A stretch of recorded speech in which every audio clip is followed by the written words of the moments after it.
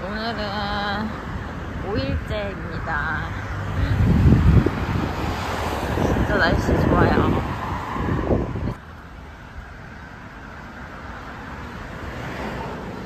근데 제가 와서 느낀 게 호주가 이런 개인 카페들마다 뭐 포장지나 디자인 같은 거 많이 신경 쓰는 것 같더라고요. 이거 이쪽 안쪽 들어가면 이제 가마실 같아요.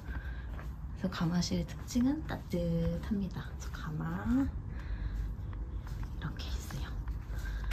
여기가 가마실.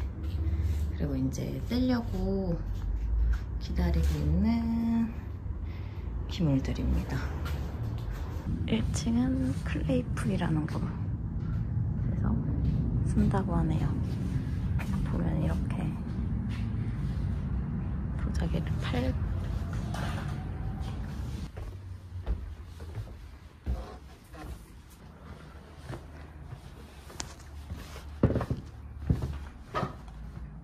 한국에 여기서 지금 열심히 자, 작업 준비 세팅을 하고 계시네요.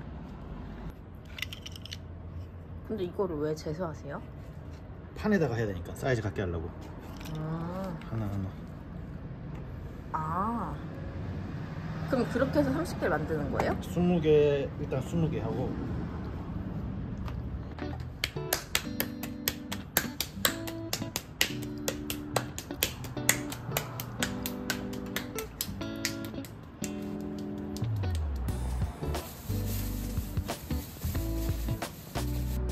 그리고 이제 할 때 자만 제 한번 쳐주면 되지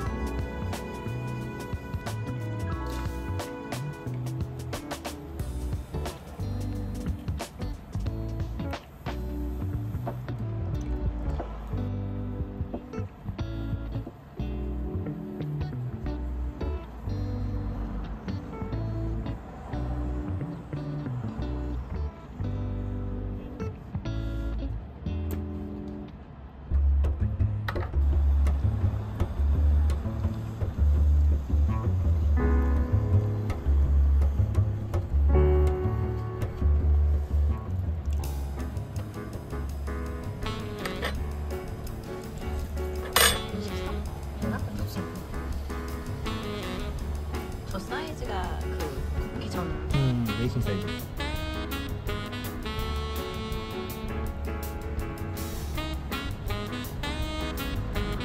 통이라든가 시우집기 막 이런 거